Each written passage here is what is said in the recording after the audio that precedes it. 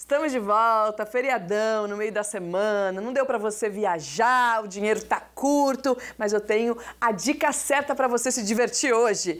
É o Vale Sul Shopping. Porque sabe aquele momento em que você percebe ser único enquanto ele acontece? Aqueles momentos comuns do nosso dia a dia, como passear com seu amigo, com a sua família, descobrir uma nova cor, uma roupa bonita, aquele instante entre você e os seus amigos, que você pode ser você mesmo, pode falar aqueles palavrão, tomar umazinha, ou perceber também que um simples cafezinho com aquele alguém especial tem outro sabor. Esses pequenos momentos serão sempre lembrados e valorizados pelo Vale Sul Shopping. Um momento para sempre.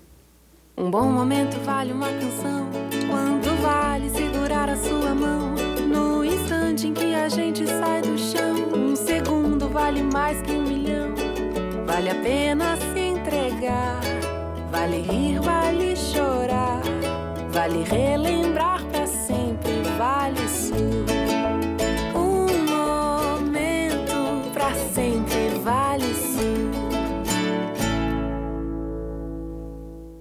Vai perder tempo indo em outro lugar, levando sua família, seus filhos em outro lugar? Lógico que não, né? Vai direto ao Vale Sul Shopping. Você de todo Vale tá convidado, tá bom? Vamos falar do Taubaté Vôlei, que venceu o Atibaia ontem por 3 sets a 0 e chegou à terceira vitória no Paulista masculino. O resultado aí deixou o time taubatiano na liderança do torneio com 9 pontos. A novidade na partida foi o central Éder, medalhista olímpico, que, esteve, é, que teve a sua estreia antecipada pelo técnico César Douglas. Já o Lucarelli e o Wallace ficaram sentadinhos ali fora do, da quadra, mas estavam lá na, no ginásio do Abaeté, mas só podem estrear Antônio Carlos, talvez, talvez ainda não tem né? nada certo certo, no dia 16 contra o Campinas. É, é, o jogo é fora de casa contra Sim. o Campinas, né? Depois fecha o, a fase de classificação contra o SESI jogando em Taubaté. Eu acho que seria mais legal deixá-los para estrear em casa. Em casa. Né?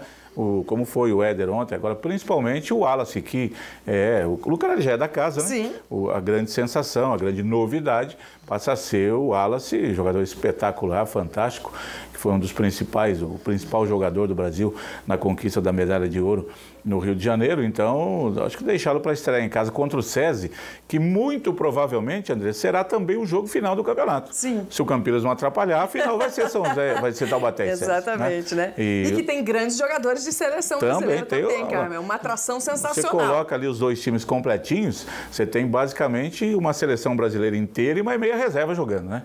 É um negócio fantástico e vai, vai, vai ser realmente um jogo extraordinário. O Campeonato Paulista, a gente já comentou aqui, tem três times num nível acima e três times num nível abaixo e o Taubaté pegou os três times da parte de baixo da tabela, fez o que se espera, 3 a 0 sem dificuldades. Mandar um abraço aqui pro maridão da Lourdes, o Carlos Alberto, fazendo aniversário no feriado, rapaz, que oh. coisa boa, hein? E o Pedro Henrique Floriano também aqui no nosso Facebook. Vamos falar do São José que recebe hoje a equipe de Franca pela sequência da fase de classificação, segundo o retorno aí do Campeonato Paulista de Basquete Feminino. O time da nossa região está na liderança com 11 pontos e enfrenta o Lanterna, que tem 5. A partida será no ginásio do Cidade Jardim, em São José dos Campos, hoje às 4 da tarde. A entrada é gratuita, portanto, você, torcedor joseense, está convidado. A gente vai para um rápido intervalo, daqui a pouquinho a gente volta para falar de feminino e masculino. A gente volta já.